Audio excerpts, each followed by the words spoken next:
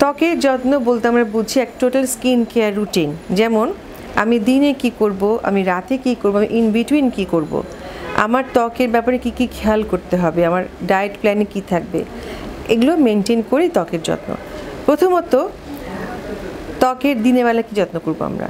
এক নাম্বার একটা ভালো ক্লিনজার ক্লিনজারের কাজ কি? আমার স্কিনটাকে ক্লিন করবে। স্কিনে ক্লিন করে ডার্ট অয়েল ডেব্রিসটাকে রিমুভ করে দেবে। এই ক্ষেত্রে ক্লিনজারটা কাদের কীরকম হবে? সেটা ঠিক ওই ডক্টর ডর্মাটোলজিস্ট যেমন অয়েলি স্কিনের এক ধরনের ক্লিনজার অয়েল ফ্রি ক্লিনজার আর একটা হচ্ছে বা সোপলেস ক্লিনজার আর কারও কারও সেন্সিটিভ স্কিন তাদের জন্য একরকম ক্লিনজার কারও কারও হচ্ছে হলো নর্মাল স্কিন তাদের জন্য আরেক রকম ক্লিনজার এটা ডাক্তার তাকে ঠিক করে দেবে। নাম্বার টু হচ্ছে হলো, তাকে দিনে দু থেকে তিনবার মুখটা ক্লিন করতে হবে। এরপর টোনার টোনারের ক্ষেত্রে আমাদের একটা ভ্রান্ত ধারণা আছে যে টোনারের কাজটা কি আসলে আমরা জানি না। অ্যাকচুয়ালি টোনার যদি মনে করি আমরা স্কিনটাকে এটা রিভাইভ করে। স্কিনটাকে মেনটেন করে কিন্তু টোনার। টোনারের মধ্যে কেমন ধরনের টোনার হবে? একটা এটাকে ভিটামিন সিযুক্ত টোনার? নাকি এটা হাইলোরিক অ্যাসিড বেসড টোনার? এটা হচ্ছে ডাক্তার তার স্কিন কোয়ালিটি দেখে তাকে ঠিক করে দেবে। স্কিন টোনিংয়ের পরে আসে কিছুক্ষণ পর ময়শ্চারাইজার। এটার মধ্যে in case of day light দিনে আমরা যে টোনার আমরা যেটা যেটা আমরা ইউজ ফর ময়শ্চারাইজিং ওর মধ্যে থাকবে হচ্ছে হলো সানস্ক্রিন সহ অথবা ছাড়া অ্যান্টিঅক্সিডেন্ট মিনা কম্পোনেন্ট সহ থাকতে হবে যাতে স্কিনটার যে ওয়ার অ্যান্ড টিয়ারটাকে এটা ক্লিয়ার করতে পারে। স্কিন ক্রিমের সাথে আমরা বা আলাদা করে আমরা এরপর ইউজ করব এটা সানস্ক্রিন সানস্ক্রিন ক্ষেত্রেও same sunscreen should be maintain according to skin type যেমন যাদের স্কিন অয়েলি ওদের জন্য অন্যরকম সানস্ক্রিন যাদের স্কিন হচ্ছে অয়েল অয়েলি না বা ড্রাই ওদের জন্য একরকম স্কিন এগুলো মেনটেন করে স্কিন নিডস এক সানস্ক্রিন এই সানস্ক্রিন ইউজ করার টাইমিংটা হবে এরকম। অনেকে বলে এটা দিনে দু থেকে তিনবার বা চারবার। অত সময় ধরে ইউজ করা যায় না। অ্যাটলিস্ট ঘর থেকে বের হওয়ার হাফ অ্যান আওয়ার আগে আমরা সানস্ক্রিন ইউজ করব। এক্সপোজ পার্টে আর একবার করব আমরা বের হওয়ার আগে, দুপুরবেলা একবার। তো নটা থেকে চারটার মধ্যে এটা মেনটেন করলে সাধারণত স্কিনটা ভালো থাকে কেয়ারের ব্যাপারে। এছাড়া আমরা যেটা করতে পারি এর সাথে আমরা সাথে রাখব হচ্ছে এক ধরনের ফেস ওয়াইপ রাখব। যখনই আমরা বাইরে যাব, যখনই মুখটা ঘামবে বা তেল তেল হবে, তখন ওটা দিয়ে মুখটা আমরা ক্লিন করে নেব।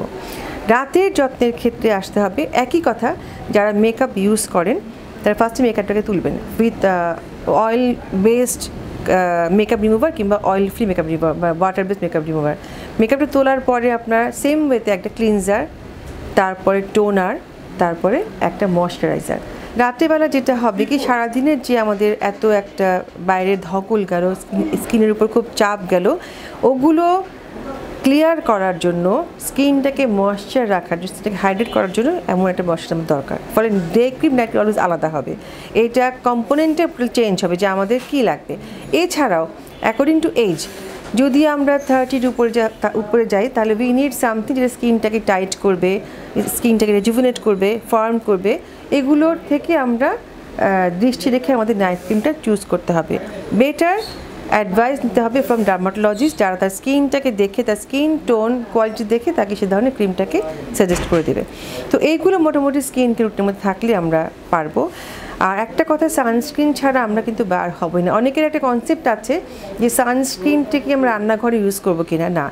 সানস্ক্রিন অ্যাকচুয়ালি সানস্ক্রিন সূর্যের আলো থেকে প্রোটেকশন নেওয়া তো রান্নাঘরে গেলে আমাদের সানস্ক্রিন কিন্তু ইউজ করার প্রয়োজন হয় না।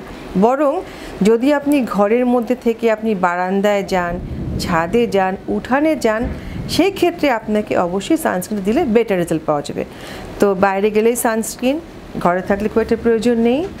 একটা ভালো ক্লিনজার ইউজ করা টোনার ইউজ করা, একটা ময়শ্চারাইজার ইউজ করা আপনার জন্য অত্যন্ত জরুরি। এর সাথে অনেকের থাকে নাইট একটা ডার্ক আয়ের বা ডার্ক সার্কেল সমস্যা থাকতে পারে অনেকের।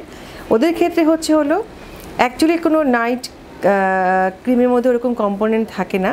যদি আপনি আন্ডার আই ক্রিম ভালো পেতে পারেন, যেগুলোর মধ্যে ভিটামিন সি থাকবে ই থাকবে কোলাজেন থাকবে পেপটাইড থাকবে, ওগুলো সহ থাকলে ওই ধরনের অ্যান্টি এজিং ওই ধরনের অ্যান্টি ডার্ক সার্কেল ক্রিম আপনি রাখতে পারলে লাগিয়ে ঘুমাতে পারেন। না পারলে শুধু ভ্যাসলিনটাকে লাগালেও হবে। তো এইগুলি মোটামুটি একটা স্কিন কেয়ার রুটিনের মধ্যে থাকলে আমাদের মনে হয় ভালো হবে।